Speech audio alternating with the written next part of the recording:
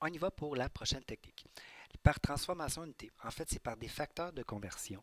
Ce qui est peut-être un petit peu moins évident, c'est qu'on va devoir des fois modifier euh, le numérateur avec le dénominateur pour que ça puisse fonctionner. Exemple, puisque je cherche des moles, ici j'ai des millilitres et j'ai des litres par mol, et c'est des moles que je cherche. Donc, je pourrais écrire que une mole équivaut à 22,4 litres. C'est comme écrire le volume molaire, mais à l'inverse. Et là, je vais faire une transformation d'unité. Je vais faire 0.250 litres, qui est mes millilitres transformés en litres. Attention, je ne mets pas une égalité, mais bien un fois. Litre, c'est pas ce que je veux avoir, je vais le mettre en bas. Ce que je voudrais avoir, c'est mol. Et dans une mole, j'ai 22,4 litres. Mes litres se simplifient. Ça me donne 0,11,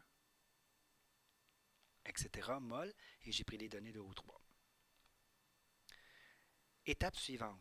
J'ai des moles, j'ai une stoichiométrie, donc je vais faire un rapport de mol. Donc, mol O3.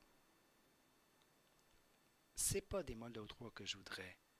Ce sont des moles de H2O.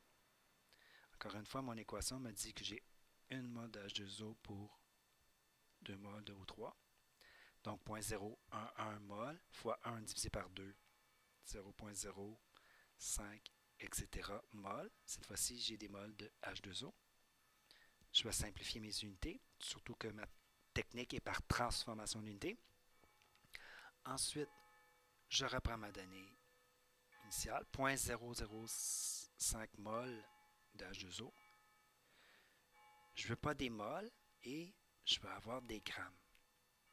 Ce qu'on voit, c'est qu'une mol correspond à 18,02 grammes de H2O. Mes moles se simplifient.